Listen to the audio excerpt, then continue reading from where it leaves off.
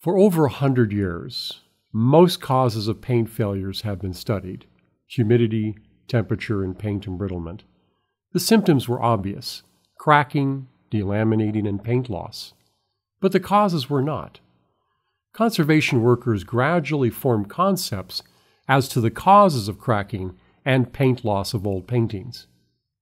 The paint industry studied failures in paint films, and artists developed their own ideas but remained largely unaware of the research from both the conservation community and the coatings industry.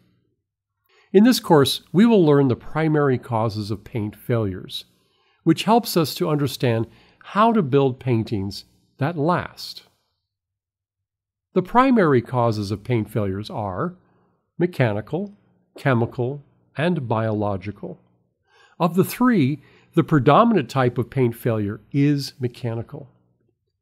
Cracked, cupped, and blistered paint attest to the presence of considerable mechanical forces in paintings. Until recently, it was believed that the movements of the canvas or panel alone were the primary cause of paint cracking and deterioration. This led earlier investigators to concentrate on the behavior of the support. Their studies of the reaction of the painting supports to changes in the environment made it possible to understand the behavior of paintings. What research has found is the paint film and its support become a composite structure in which all components interact with one another. Paint on flexible supports behave in a completely different manner to that on rigid supports. Thus, a painting might crack on one type of support, but not on another. This can be illustrated in the painting entitled Bouquet of Tulips, Roses, and an Opium Poppy by the Flemish born painter Gerard van Spaendonck.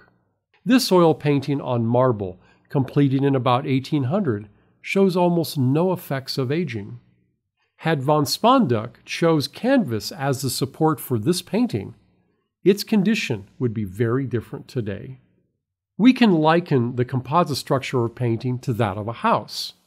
Walls and roof are built of flexible materials over a properly made foundation built of stronger, more rigid materials. And this, in turn, is built on solid ground. However, when the ground is not firm, we well know what can happen during an earthquake Paintings are not simply painted surfaces, but are complex three dimensional structures that behave as a composite in which each component influences each other. Materials respond to changes in the environment. Each part of a painting responds differently to these changes. The differences in responses between each component cause mechanical stress in the paint layers. Changes in the environment include temperature and humidity. Most materials used by artists are hygroscopic, meaning that they absorb water from the atmosphere. As they absorb and release moisture in response to changes, the materials expand and contract differently, causing mechanical stress.